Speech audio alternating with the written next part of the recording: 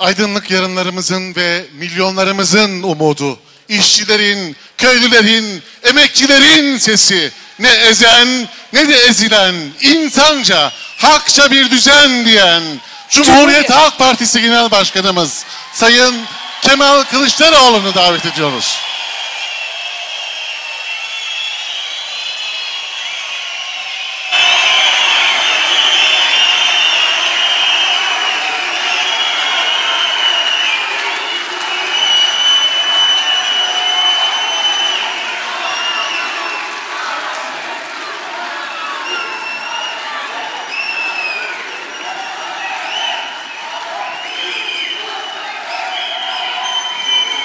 Evet, 2022 yılı 29. Hacı Bektaş Veli Dostluk ve Barış Ödülü sahibi Kamil Ateşoğulları'nı bir kez daha kutluyoruz.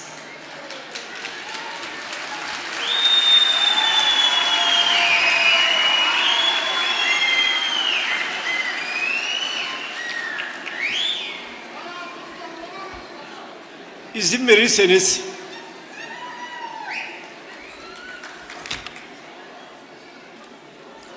ve dikkatle dinlerseniz son, derece mutlu olurum. Değerli arkadaşlarım, öncelikle sizlere sevgili dostlarım diye hitap etmek isterim. Bir aradayız. Her yıl Hacı Bektaş ilçemizde Hoca Ahmet Yesevi'den feyiz alan Horasan Ereni Hacı Bektaş Veli'yi anıyoruz. Onun sadece bizim dünyamızda değil, bütün inançların dünyasında saygın bir yeri vardır. Bu toplantılarda sevgiden söz ederiz, barıştan söz ederiz, birlikten söz ederiz, beraberlikten söz ederiz, kucaklaşmadan söz ederiz. Dolayısıyla bu söylemlerimizin altını hep beraber doldurmak zorundayız. Sevgi evet, barış evet, huzur evet, birlikte bunların altını doldurmak zorundayız. Sevgili dostlarım, hünkara göre yüreğimiz yani kalbimiz, gönlümüz büyük bir şehre benzer. Ve Yüce Allah kainatta neyi yarattıysa bu şehirde yani kalbimizde bulunmaktadır der. Hünkar bu şehrin ilim, cömertlik, utanma duygusu, sabır, kanaat, korku ve edep ilkeleriyle korunduğunu söyler. Hünkarın bu inanışı ışığında hem kendi yüreğimizi hem de ülkemizi yani toplumsal, siyasal, kültürel, tarihsel kalbimizi yeniden sağlıklı kılmalıyız. Öfkeden arındırmalıyız. Sevgili dostlarım, az önce de ifade ettiğim gibi hünkar büyük bir şehre benzettiği kalbimizin ilk muhafızı olarak öncelikle bilimi görür. Yani ilmi görür. İlim irfandır, erdemdir, aklın oluşturduğu hazinedir. Yunus'un dediği gibi kendini bilmektir, farklı düşünceye saygıdır. Kimseyi ötekileştirmemek, kimseyi dışlamamaktır. İlim bize herkese, her kesime karşı zahir yani açık ve berrak olmayı öngörür. Bugün insanlığın düşünsel zenginliği aklın yani ilimin eseridir. Sevgili peygamberimiz ilimle geçen her gece ibadetle geçen bin geceden daha hayırlıdır der. Dolayısıyla herkesin fikrine, düşüncesine saygı duyulmalı.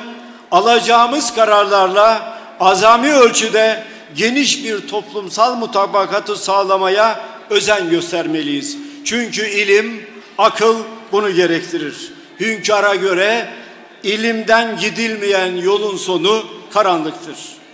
Sevgili dostlar, sevgili dostlar, beni dinleyin lütfen. Sevgili dostlar, hünkara göre kalbimizin ikinci muhafızı cömertliktir.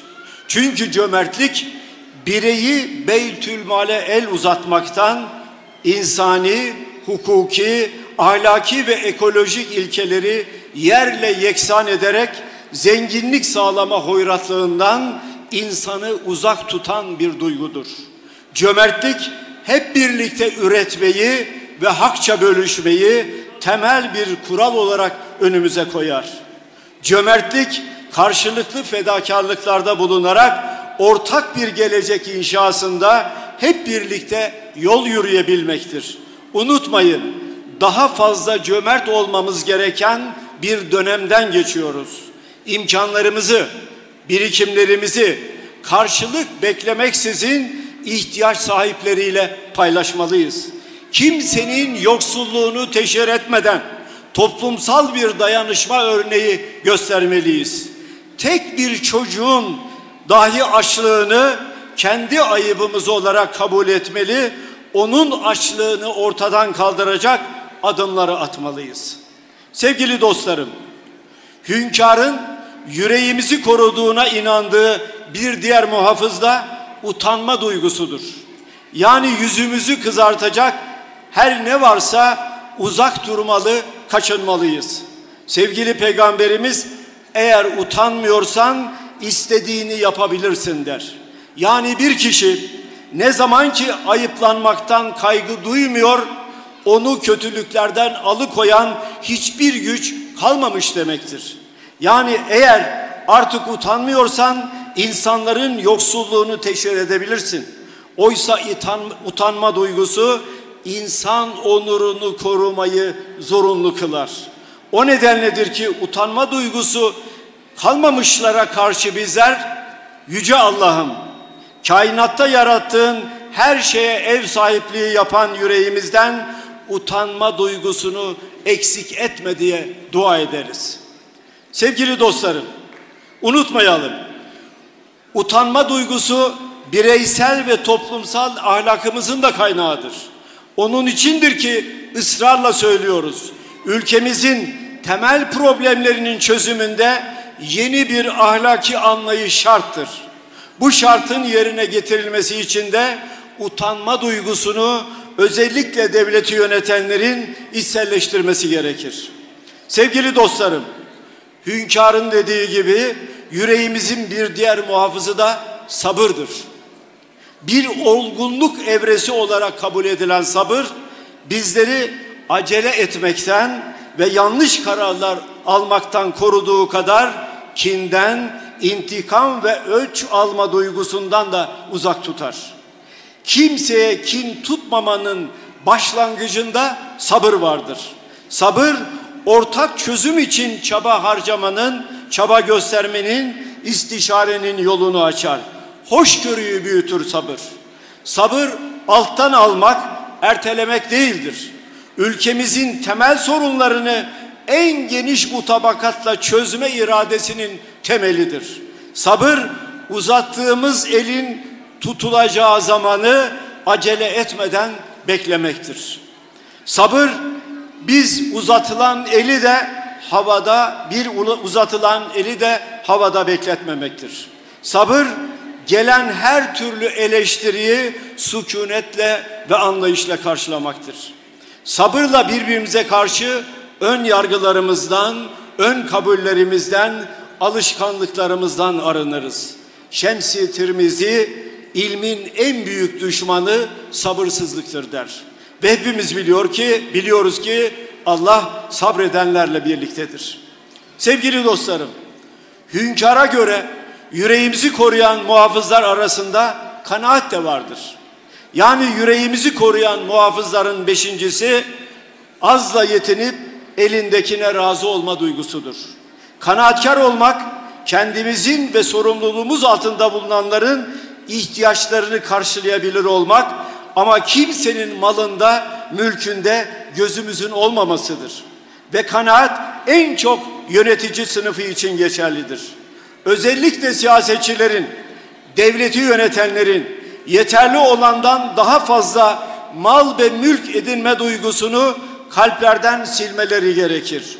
Çünkü siyasetçiler yani yönetenler devleti bir zenginleşme aracı olarak görmemelidirler. Sevgili dostlarım, hünkârın yüreğimizi koruduğu, koruduğuna inandığı altıncı muhafız korkudur.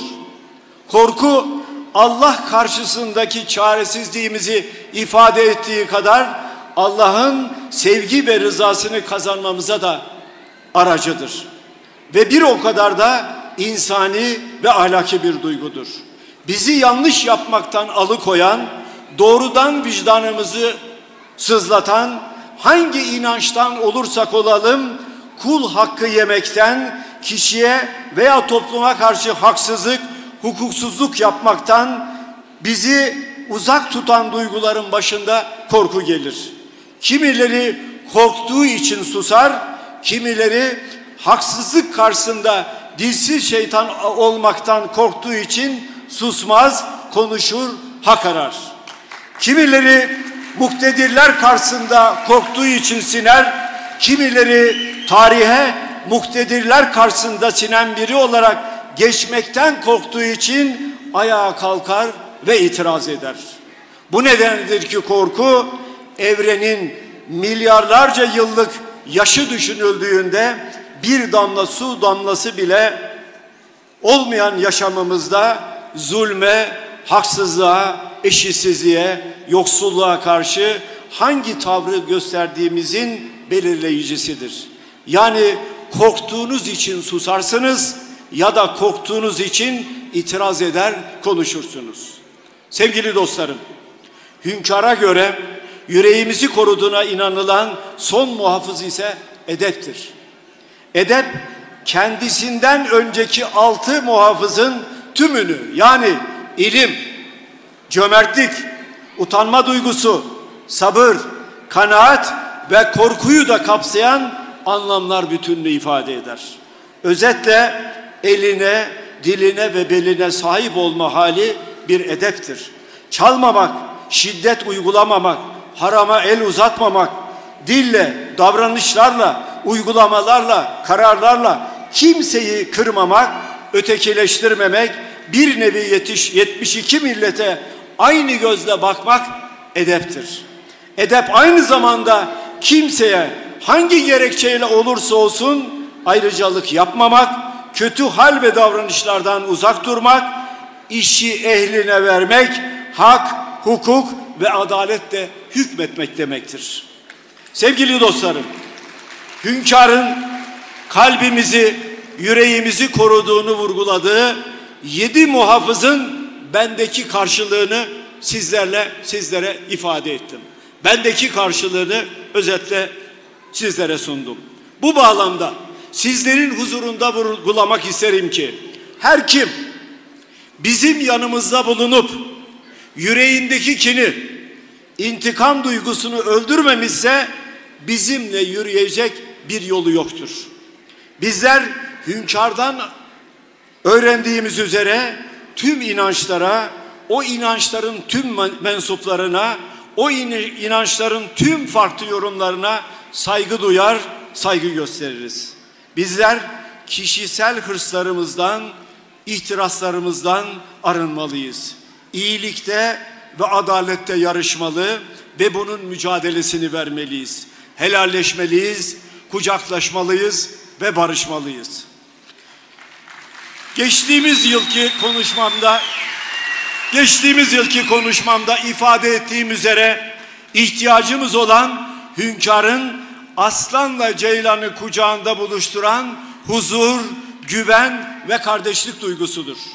Aslan ile ceylanın bir arada huzur ve güven içinde kardeşçe yaşayacağı bir ülkeyi el birliğiyle kuracağız, kurmalıyız, kurmalıyız, beraber kurmalıyız, birlikte kurmalıyız. 85 milyon birlikte kurmalıyız.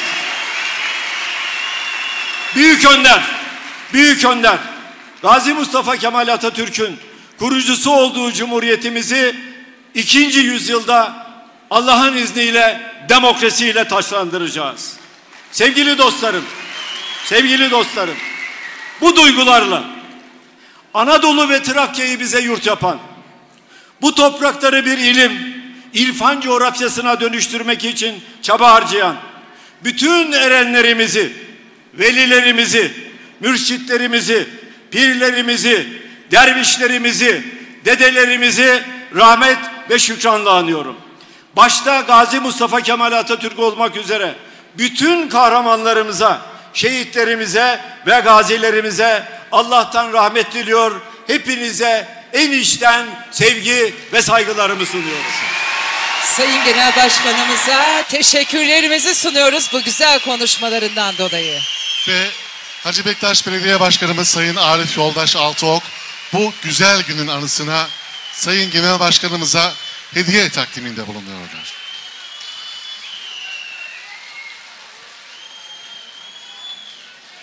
Teşekkür ediyoruz Sayın Genel Başkanım.